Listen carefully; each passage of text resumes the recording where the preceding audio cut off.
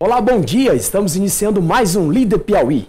Se especializar com afinco na área de sua preferência é buscar o melhor para seu cliente. Imprimir uma marca de uma empresa, torná-la destaque, é um desafio que o entrevistado de hoje conhece muito bem.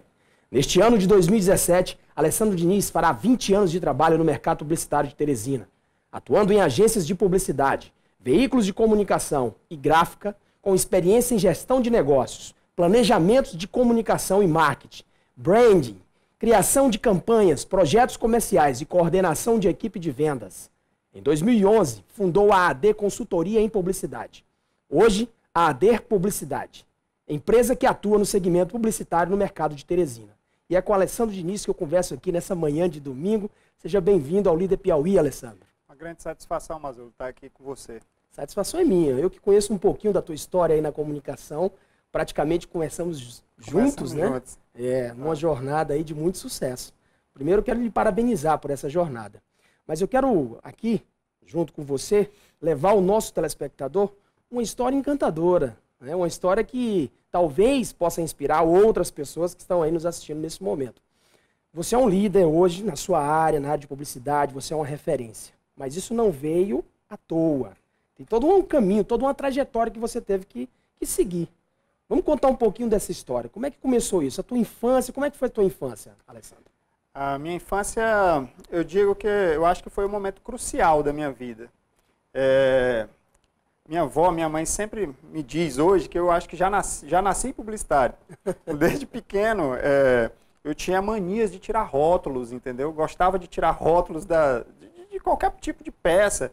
E aquilo ali me encantava. Eu gostava de olhar aquelas marcas. Sim. E também sempre fui uma pessoa assim de muito bom relacionamento. Sempre tive muitos amigos. É, eu tive a sorte, eu digo a sorte porque eu estudei minha vida toda em um só colégio, então eu criei um círculo de amigos extremamente extremamente aberto, extremamente fechadinho, porque Sim. assim, é aqueles amigos que você conta nos dedos, mas também fiz claro. várias amizades fora desse círculo. Claro, você acaba até fortalecendo ainda mais essas amizades. Exato, e acho também que fortaleceu muito a minha criatividade as brincadeiras de rua, né?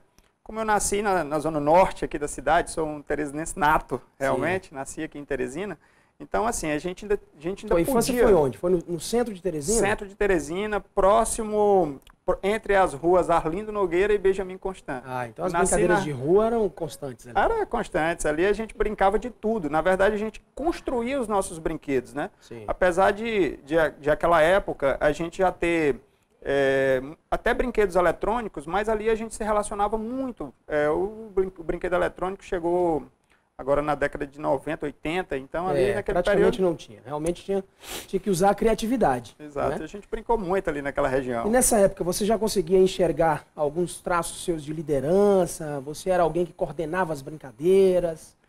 Geralmente eu era o, o chefe da turma, entendeu?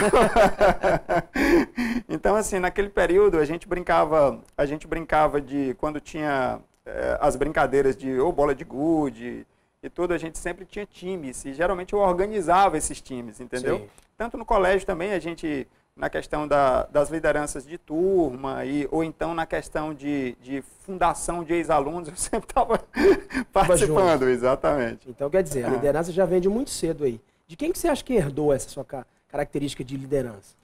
Mas, Ulu, para te falar a verdade, eu não sei, entendeu? É, eu tive um espelho muito grande, mas de muito pouco tempo com, com o meu avô. Sim. Entendeu? Meu avô, eu, eu, eu, eu conhecia a história dele, mas ele, quando, quando faleceu, em 84, eu ainda era menino. Mas eu tenho muitas lembranças, de, eu ainda tenho muitas lembranças disso, entendeu? É, de onde Você ouvia essas histórias de, de quem? É, de minha mãe, de minha avó, ah, de minhas mãe, tias, entendeu? Você se interessava também, com aqueles exemplos isso, que elas iam contando. E também a minha família, é, a minha família sempre foi muito unida, então eu, eu sempre gostava de estar tá escutando, ainda hoje eu, eu, gosto de ouvir muito, entendeu? Sim. Então, é, eu acho que dali me, me espelhou um pouco, eu, eu, eu ver aquela situação, ou seja, de onde ele veio até onde ele chegou, e também a questão da ajuda em, com toda a família, que na verdade, assim, eu acho que nesse período eu já observava muito. Eu, eu me lembro dessa fase, entendeu? Sim. Geralmente hoje eu tenho um filho que tem essa idade, mais ou menos, fazendo a quarta série. Então, é, eu me lembro, às vezes eu olho para ele, eu me vejo, entendeu? Então, é, eu... eu faço essa pergunta sempre aqui, Alessandro, porque a primeira infância sempre foi a fase que mais nos influenciou. Sim. Né? A maioria dos comportamentos que nós temos hoje Nós aprendemos nessa fase da primeira infância, propriamente dita do zero aos sete anos. E as pessoas que nos influ influenciaram nessa época da nossa vida, provavelmente são pessoas que hoje acabamos repetindo os resultados que essas pessoas tinham reservado as proporções naquela época. Né? Então, esse traço de liderança que talvez você tenha aí é, trazido para a sua vida através da influência do seu avô, né, com absoluta certeza, nessa fase foi uma fase em que você realmente buscou esse tipo de inspiração para ser o líder que você é hoje. Mas você também utilizou-se de uma estratégia, uma estratégia para você aproveitar, crescer profissionalmente, crescer pessoalmente. O que, que você gostava de estudar na sua adolescência? É, você minha... era um menino estudioso? Sim, sempre, é, é, nunca tive problema com, com recuperações, né? Sim. É, Sempre na... passou de ano? Sempre passei de ano, na verdade, eu, eu gostava... Passou de ano com a média ou era um aluno que passava... Não, eu, em algumas matérias eu passava com a média, outras eu passava um pouquinho acima, acima entendeu? Da média. Isso também, é, é, eu acho que foi muito da questão de você prestar atenção. Sim. Eu nunca fui de estudar muito em casa, Sim. mas eu prestava muita atenção à aula, a entendeu? Aula. E aquilo, às vezes, me motivava a eu chegar em casa, como eu sempre fui uma criança e naquela época também um adolescente, muito curioso. Sim. Então, eu tinha curiosidade em algumas matérias. Então, em algumas matérias eu ia além. História, é, ciências, entendeu? Geografia. Eu, eu nunca gostei daquela história, eu ainda nem falo isso hoje para meu filho, que é, ah, tenho medo de matemática. Na verdade, para mim, eu sentia como um desafio, entendeu? É. Isso quer dizer, você já prestava atenção nas aulas os professores. Você mantinha uma relação próxima desses professores? Como que você fazia para ter essa relação próxima dos seus professores? É, eu sempre me comportava na turma e eu sempre mostrava sempre quem eu era, entendeu? Eu sempre é, mostrei a minha personalidade. Hum. Eu eu sempre via alguns amigos que tinham medo de chegava o professor, tinham medo de algum. Não, eu sempre tentava me relacionar com o professor, conversar com ele, Sim. contar minhas dificuldades, ou então contar que eu tinha facilidade em algum tipo de matéria. Eu acho que isso, isso me ajudou muito. Sim. Inclusive, é, eu tenho essa, essa, memória de lembrar muito dos meus professores, entendeu? Sim. Graças a Deus eu tive a, a eu tive a, a, a, grata colaboração de um bom colégio aqui de Teresina. Então eu acho que isso me ajudou demais. É, eu, eu ter é, completado o meu colegial todo Você em um só local. De escola? do Colégio Sagrado Coração de Jesus, Colégio, Colégio das, Irmãs, das, Irmãs, exatamente. É, realmente então, é uma referência aqui no Piauí. É um local que eu tenho muita saudade, entendeu? De vez em quando ainda, eu, eu, na verdade eu tô, tô até um pouco ausente de lá, mas eu frequento sempre, entendeu? Sempre frequento tá sempre, frequentando sempre. lá o Colégio das Irmãs. Na minha família, meus irmãos também estudaram lá, entendeu? Então eu, eu quando saí, eu ia buscá-los lá. Então eu sempre gostei muito de frequentar aquele local, entendeu? Ainda hoje eu, eu, às vezes, me revitalizo quando eu entro ali.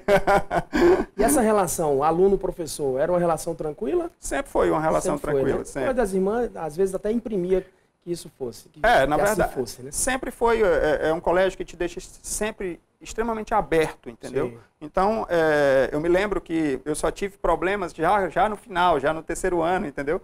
Eu tenho um grande amigo que eu vou contar essa história e ele vai sorrir quando escutar. Foi a única vez que a gente foi expulso de turma, que foi em uma aula de história que a gente gostava muito, já estava próximo de já estava próximo do vestibular, a gente já naquela pilha, né? Na, é, de, de, final de ano e tudo, e um dia a gente saiu e chegou tarde da, do, do lanche, e ele ficou conversando comigo e o professor começou a dar aula. Acho que Vocês dia... ficaram do lado de fora. E a gente ficou do lado de fora fomos expulsos dessa aula.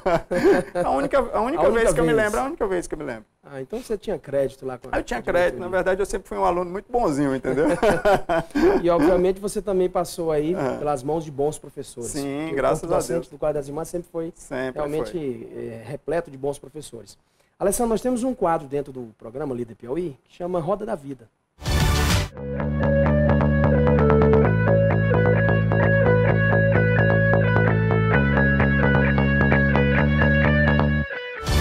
Roda da Vida. Oferecimento INEX, Instituto Nacional de Excelência Humana. Procurando um instituto de PNL? Venha para o INEX. É uma ferramenta de autoavaliação. Você tem a oportunidade de dividir a sua vida em algumas áreas e ter a oportunidade de se dar nota a essas nessas áreas. Né? Mas antes a gente vai para um intervalo. Depois do intervalo, eu vou pedir que a gente comente sobre o teu resultado da Roda da Vida. Tá bom? Ok. É rapidinho. Você que está nos acompanhando, continue com a gente. Daqui a pouco eu volto aqui com o Alessandro Diniz e o resultado da Roda da Vida.